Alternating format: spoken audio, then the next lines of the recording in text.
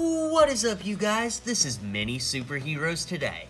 And today's video is one that I have wanted to make for a very, very long time. Of course, we are taking a look at how to build the Fantastic Four as LEGO figures using nothing but 100% official LEGO parts.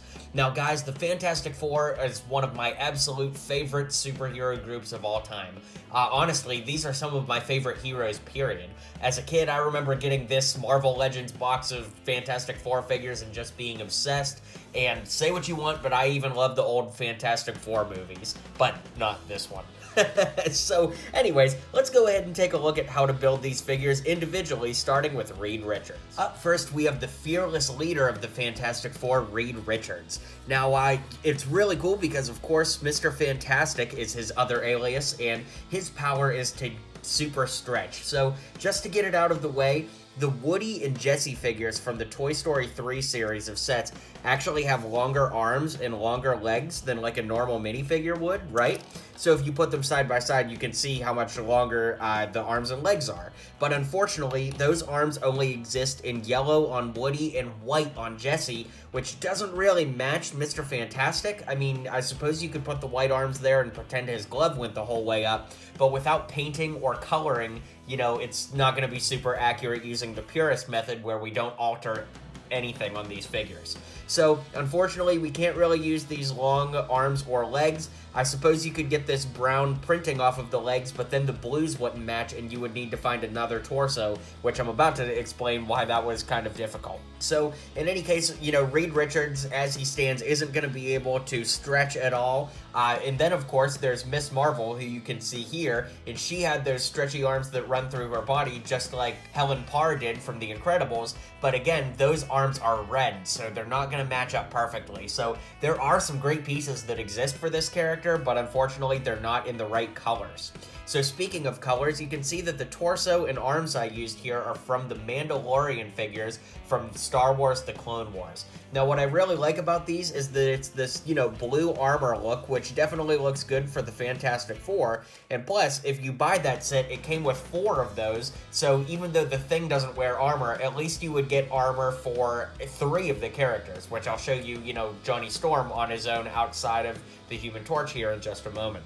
So in any case, to pay homage to the old Fantastic Four suits, I gave him white gloves, and I pulled those off of this shield agent. Now what I will say is if you took these legs off, you could put these on there and give him white hips, which I think are cool too. However, I think that they look a little bit more comic booky and a little bit less modern. So it really honestly just all depends on what you actually want to do. Uh, there's obviously lots of options and ways that you can do this, and the nice thing is, is depending on what figures you have in your collection, you can really kind of mix and match and build these figures however you want, which again is kind of the beauty of LEGO. So moving up from there, uh, the head is from Happy Hogan from Spider-Man Far From Home. And the reason that I chose this head is, is A, I kind of like the serious look for Reed Richards, but B, that Happy Hogan figure was so bad that honestly, it's just a good reason to use him because it's not like anybody would ever want to use that Happy Hogan figure in their Marvel collection anyways. And then of course you can see that I gave him Doctor Strange's hair from Infinity War so that he would have the gray streaks on the side of his hair. I know that Reed Richards technically usually has brown hair in the comics, but there doesn't exist a brown hairpiece as of this video that has gray on the sides, and I thought that having the gray in the hair was more iconic than just having the brown hair, so I definitely had to take some liberties on this figure. Now what I will say is that if you're willing to break the purist method, you could really put any kind of short brown hairpiece on here and take a little bit of white out and dab it on the sides if you wanted something different. But in any case, that's Reed Richards, and let's jump over to our next member of the Fantastic Four. And here we have the Invisible Woman. I'm just kidding, guys. Here we have the Invisible Woman. So to build Sue Storm, uh, I really, really love Sue Storm as a character, and of course to build her is super cool to add her to my collection. But I used the same Mandalorian torso. If you wanted to see what the hips look like, these are just the dark blue regular hips, and then if you switch them out for the shield agent, that's what it looks like. Again, I'm always about giving you guys options. Then these arms are from Electro from the LEGO Spider-Man line of sets because I like these see-through arms to show that she's, you know, phasing in and out of being invisible. I actually think that that's a cool little detail you can add there. And then for simplicity's sake, the head and the hair are from Black Widow from Avengers Infinity War. Now, if you have any other ideas for head and hair combos that would work for this figure, be sure to drop a comment below, as always. But I try to build these figures using the least amount of pieces possible so that they'll be easier for you guys to build. But like I said, drop a comment below and let me know what you think.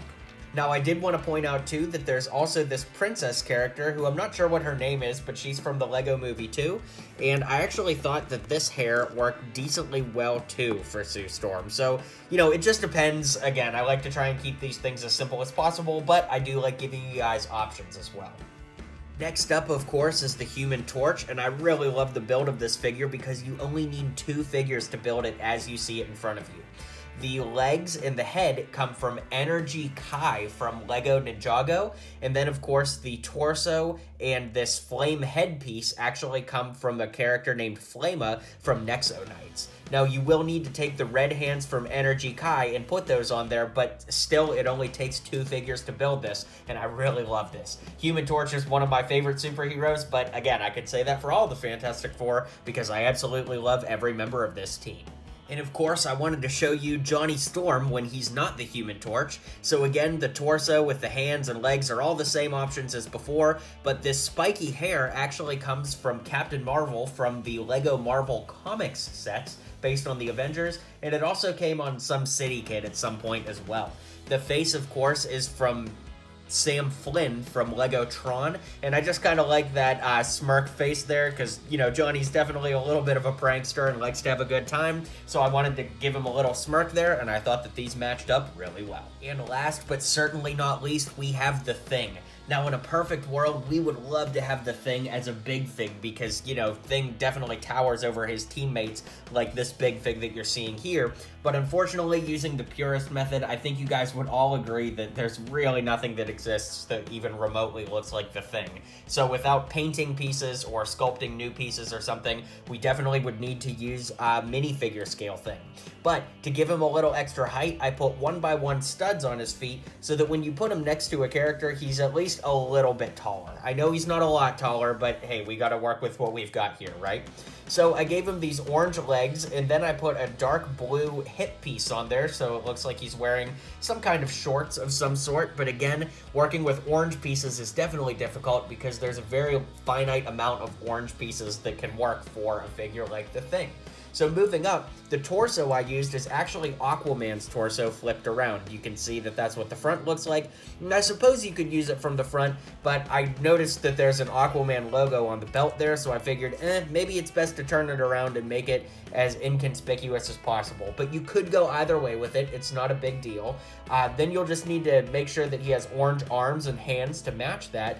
And the face is actually another Energy Ninjago head there really are not very many orange Lego heads to work with to begin with. And then of those heads, the ones that could actually work for the thing are basically just this one, in my opinion. Now, I did take an orange head that I had that didn't have printing on it, and I took a little Sharpie to it to give it a face and everything, and I'll show you what that looks like. Now, I know that doing this breaks the purist method of not altering Lego pieces, but I do think it actually looks pretty decent. You know, because the thing is so transformed as is, I think it's okay when you put them next to other LEGO minifigures, but again, if you want to stick to the purist method, that energy head from Ninjago is definitely my suggestion. So let's go ahead and zoom out, and we'll take a look at these figures one last time, and I'll give you my final thoughts. Alright guys, well that is my Fantastic Four showcase. I really hope that you guys enjoyed these custom figures, and be sure to drop a comment below and let me know what your thoughts on these figures are. Be sure to let me know who you'd like to see me build next here on the channel, hit like and subscribe, and I'll see you guys on the next video. If you liked what you saw and you liked what you heard, feel free to click that subscribe button for more LEGO content coming in the near future. So, thanks for tuning in to today's video, and until next time, build on.